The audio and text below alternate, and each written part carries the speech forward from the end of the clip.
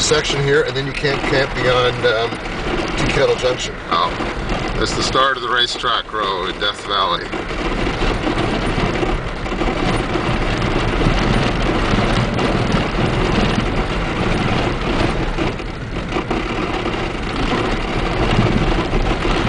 Headed south, to be 43 kilometers. Our red Jeep is piloted today by your captain, Steve. Bucky. Buckton. We're expecting some headwinds and some moderate turbulence over these bumps. Hopefully no lightning. More to come.